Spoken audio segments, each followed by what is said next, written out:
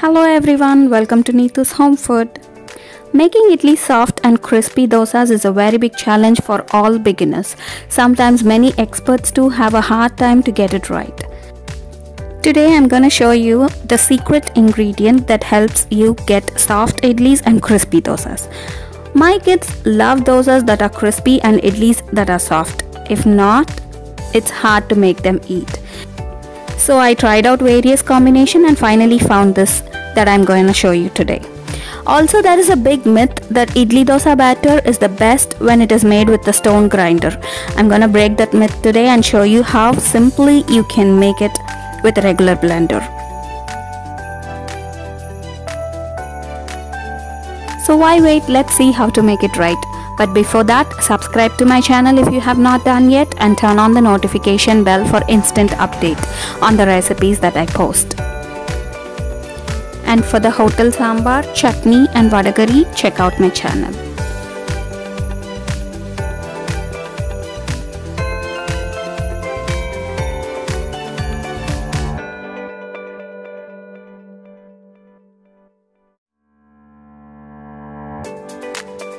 Let's start with some preparations. You will need idli rice. Don't use any random rice, just use idli rice. This makes a big difference. Trust me. Take 3 cups of idli rice, 1 cup urad dal and half a teaspoon of fenugreek seeds.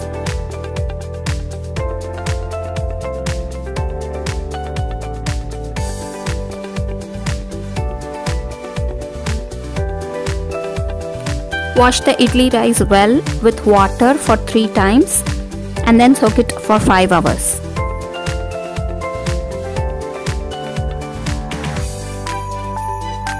Mix the fenugreek seeds and urad dal and wash it for just 2 times with water and soak it for 1 hour. So you have to soak it just an hour before you are going to grind the batter.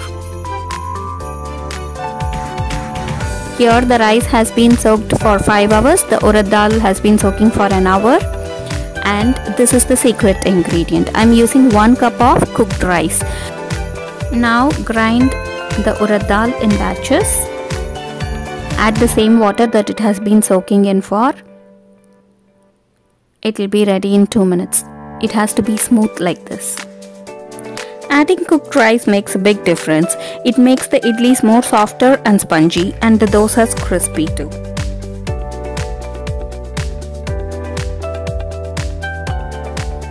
Now grind the soaked idli rice with cooked rice finely. You can replace the cooked rice with soaked poha too for the same quantity. Do it in batches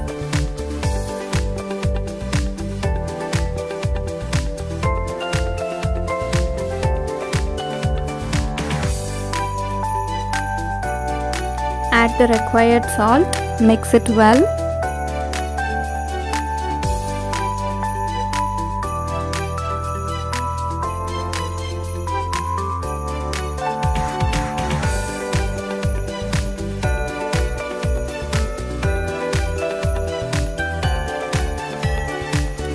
Cover it and let it sit in a warm place for 8 hours.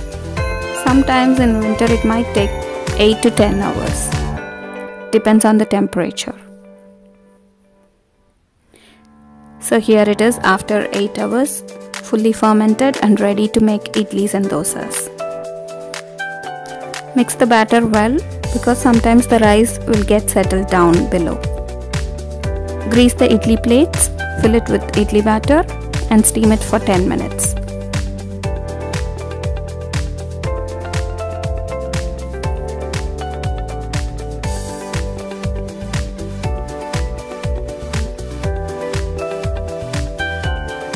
So here it is, steamed and ready to be served. It stays in soft for longer time.